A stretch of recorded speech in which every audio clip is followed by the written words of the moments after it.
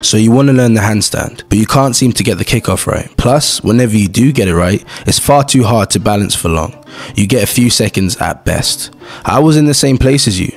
I too could never get the handstand down, so I kept giving it a go, followed by giving up.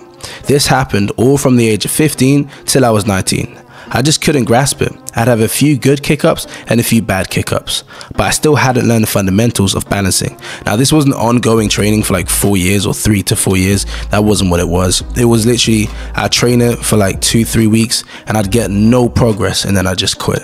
Then I'd start again, get no progress, and I'd quit. Then, at one point, I decided to learn how to press from the ground up.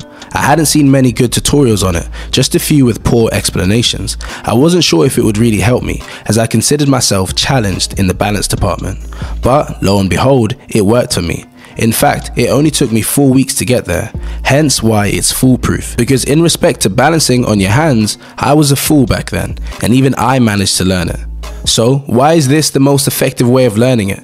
There are two main reasons. Number one, you can learn it from the ground up. You see, doing a handstand requires you to be capable of balancing using just your fingertips and palms. That's a pretty difficult thing to master, and doing that from scratch with your full body's length can be tough as your lever is too long. Whereas when you do it from a crouched position, you learn to do these small micro adjustments that you need to do with a smaller lever, therefore making it easier to become accustomed to.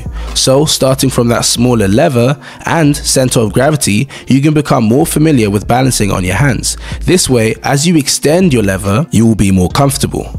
The second reason it is superior is because it speeds up the process between learning the handstand and learning the handstand push-ups. The only process that you need to learn once you get the handstand press in order to get the handstand push-up is controlling the negative. Besides that, you've pretty much got it. Why? Because learning the handstand press teaches you the pushing part of the handstand push-ups. So you're already like 70 80% there. Along with that because there already is a strength requirement in order to learn the handstand press you prioritize getting the strength before even getting the skill. That way you already have enough strength to start training the push-up. Whereas when you learn through kicking up you might not necessarily meet the strength requirements needed for the push-up. These are my reasons. Let me know your thoughts in the comments. If you want to learn the handstand press watch this video